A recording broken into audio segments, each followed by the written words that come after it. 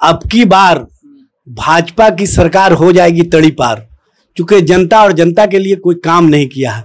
और नरेंद्र मोदी जी ये 400 पार का परसेप्शन खड़ा करना चाह रहे हैं, क्योंकि इंटरनल सर्वे इंटरनल रिपोर्ट में भारतीय जनता पार्टी आरएसएस को पता चल चुका है कि हम सत्ता में वापस नहीं आने जा रहे हैं।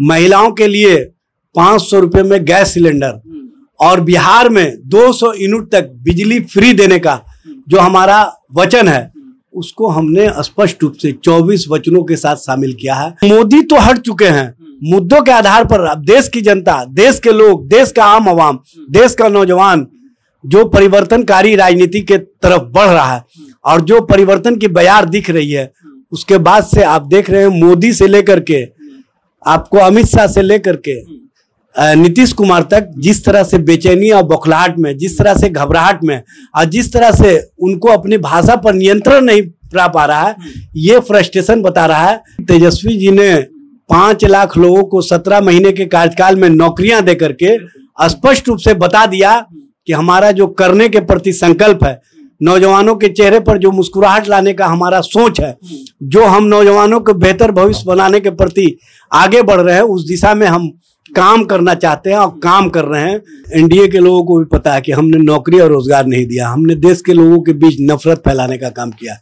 नौजवानों को भटकाव की दिशा में धर्म और भरम की राजनीति में फंसा करके रखा। हर साल दो करोड़ नौकरी या रोज़गार देने की बात 2014 में नरेंद्र मोदी जी ने की थी। दस साल हो गया बीस करोड़ नौकरी या रोज़गार मिलना चाहिए था। इन्होंने दिया है सात लाख बाईस हज़ार तीन सौ ग्यारह। उन्होंने अग्निवीर योजना ला करके नौजवानों को चार सालों में बेरोजगार बनाने का एक नया एक्शन प्लान तैयार किया। और जिस तरह से महिलाओं पर अत्याचार की घटनाओं में वृद्धि हुई महिलाओं के साथ इनका कोई बेहतर व्यवहार नहीं है।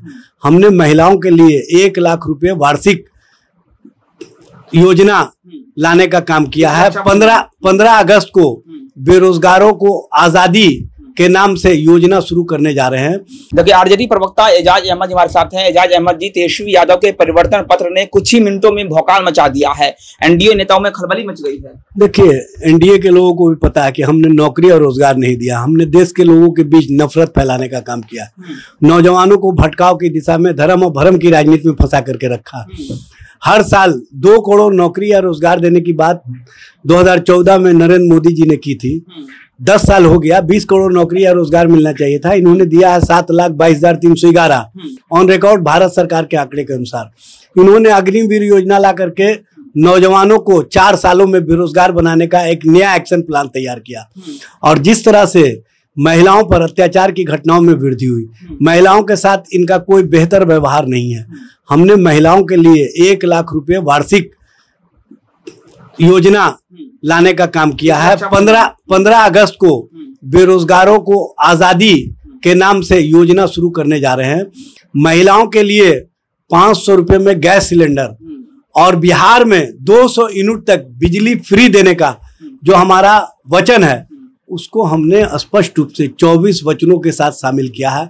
और ये 24 वचन जनता और जनता के हितों के लिए जनता के मुद्दे पर है जनता के सवालों पर भारतीय जनता पार्टी या एनडीए के लोग ना पहले टिके हैं ना आगे टिकेंगे। कुछ लोग कमेंट कर रहे हैं और बोल रहे हैं कि अब चारा चोर का बेटा नौकरी बांटेगा। ये देखिए वही लोग बोलते हैं जिनको कुछ करना नहीं है जिनको परसेप्शन की राजनीति करनी है। जबकि तेजस्वी जी ने पाँच लाख लोगों को सत्रह महीने के कार्यकाल में नौकरियाँ दे करके स्पष्ट रूप से बता दिया कि हमारा जो करने के प्रति संकल्प है नौजवानों के चेहरे पर जो मुस्कुराहट लाने का हमारा सोच है जो हम नौजवानों को बेहतर भविष्य बनाने के प्रति आगे बढ़ रहे हैं उस दिशा में हम काम करना चाहते हैं और काम कर रहे हैं। जो लोग सिर्फ़ और सिर्फ़ लोगों के बीच भरम और धर्म की राजनीति चलाते हैं उनको चलाने दीजिए।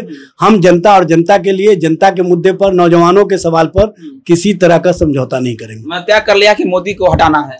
देखिए मोदी तो हट चुके हैं। मुद्दों के आधार पर देश की जनता, देश के लोग, देश का आम आवाम, देश का नौजवान जो परिवर्तनकारी राजनीति के तरफ़ बढ़ रहा है और जो परिवर्तन की बयार दिख रही है, उसके बाद से आप देख रहे हैं मोदी से लेकर के, आपको अमित शाह से लेकर के नीतीश कुमार तक जिस तरह से बेचैनी और बौखलाहट में, जिस तरह से घबराहट में और जिस तरह से उनको अपनी भाषा पर नियंत्रण नहीं पा पा रहा है।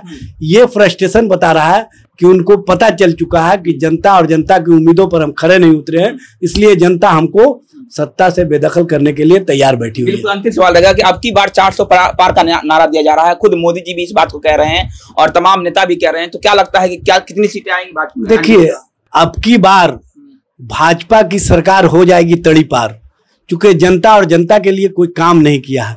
और नरेंद्र मोदी जी ये 400 पार का परसेप्शन खड़ा करना चाह रहे हैं। क्योंकि इंटरनल सर्वे इंटरनल रिपोर्ट में भारतीय जनता पार्टी आरएसएस को पता चल चुका है कि हम सत्ता में वापस नहीं आने जा रहे हैं। इसीलिए ये परसेप्शन बना करके अपने आप को बनाए रखना चाहते हैं चार जून तक। चार जून के बाद ये कहीं नहीं नज़र आएँगे। नज़र आएगा देश और देश की जनता का मुद्दा और देश के लोग। ठीक है।